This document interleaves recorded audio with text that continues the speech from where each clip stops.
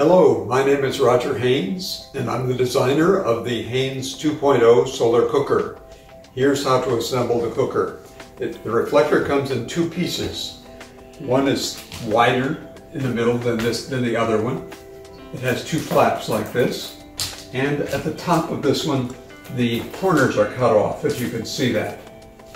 So take it, set it so that the straight corners, the corners that are not cut off, are closest to you fold those sides in like this. Put your knee over it like that. Now take the other reflector and notice that it has also has two corners cut off here and here. Put those close to yourself like this. Lay it crosswise on top of the other reflector. Pull it all the way toward you like this. And then let those flaps open up on top of it. Do the same at the top so that you pull these flaps on top of each other like this, and then let them open up again on top of the crosswise reflector. That interlocks the two reflectors together so you have one basic cooker. Then you'll notice that at the end of each side of the cooker, there are white snaps. Snap them together like this.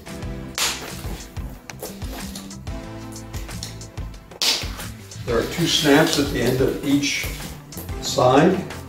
So we just snap them all together like this. There's only one way to do it. Snap them all the way around.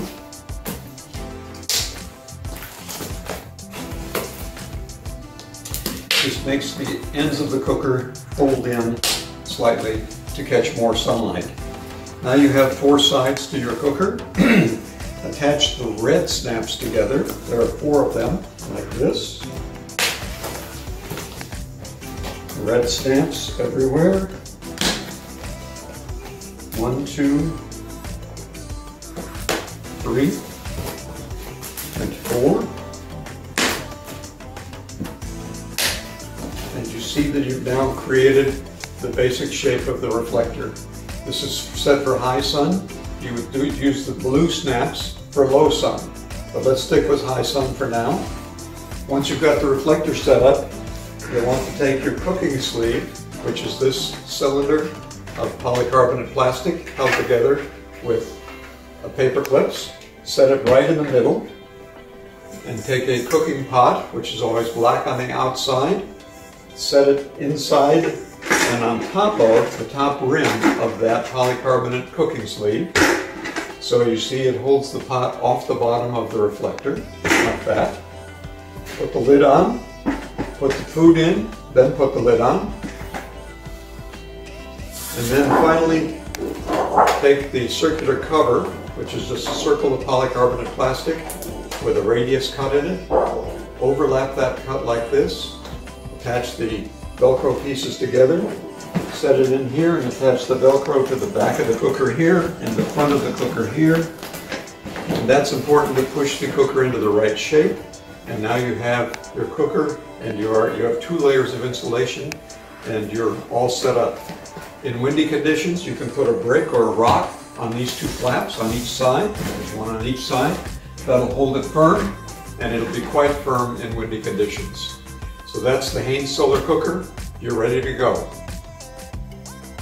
So to set it in the sun, you want to stand in front of the cooker. This is the front, obviously. It's the low side. That's the front. That side will face the sun. So you want to stand in front of the cooker and aim the cooker at your shadow. Aim that low side at your shadow. So you'll be standing there and your shadow will be right here. Now, if the sun's over there, of course, you'll turn it like this. And as the sun moves during the day, you'll turn it this way. And as it reaches the afternoon, it'll be all the way over here. So turn it every hour or two, depending on how fast the sun is moving.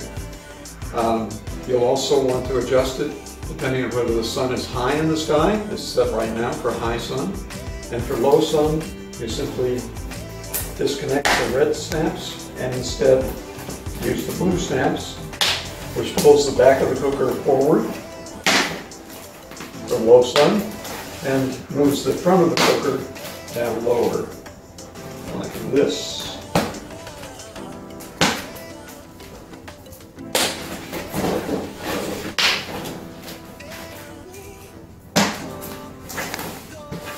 So there you have the cooker set for low sun. So that's the Haines solar cooker. You're ready to go.